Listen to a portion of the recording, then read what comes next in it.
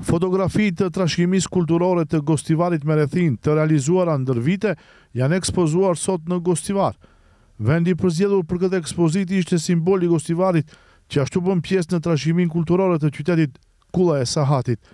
Aktiviteti erdhi me rastin e shënimit të tetëmbëdhjetë prillit, Ditës Ndërkombëtare të Trashëgimisë Kulturore. Bartësi e aktivitetit ishte Qendra për Konservim në Gostivar.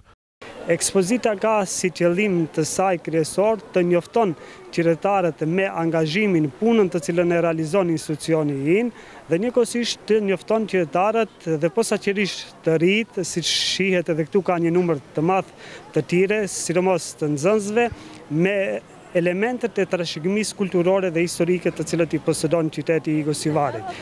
Ne si institucion nga sot njashtu do të hapim edhe të gjitha objektet të cilat janë pjesë e trashëgimisë kulturore, do të kemi edhe ditë të hapura në kuadër të këtyre objekteve ku qytetarët për së afërmi të shkojnë dhe të prekin vlerat historike dhe vlerat kulturore të cilat i kanë ato objekte. Domethënë synimi ynë kryesor nëpërmjet këtij projekti është që të njoftohen qytetarët me vlerat e trashëgimisë kulturore dhe historike të cilat i posedon qyteti i Gostivarit. Bafçar Nuredini, drejtor i Qendrës për Konservim në Gostivar, theksoi se qyteti ynë me rrethinë disponon me një numër të madh të objekteve të vendosura në trashëgiminë kulturore të cilat ditëve në vijim do të jenë të hapura për vizitorët. Kemi edhe objekte fetare, kemi edhe shtëpi individuale të cilat janë të qytetarëve të qytetit të Gostivarit.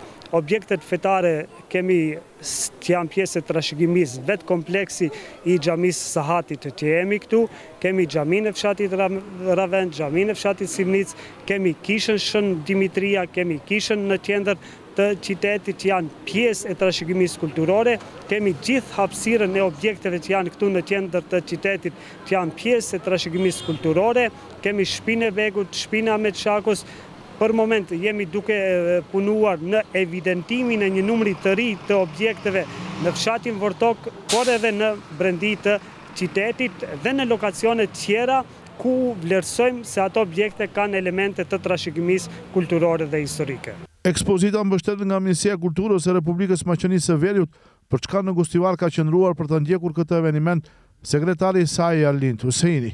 Vitin e ardhshëm unë do të angazhohem maksimalisht që kjo qendër të paktën të ketë projekte serioze, projekte kapitale për shkak se ka çka investohet në Gostivar.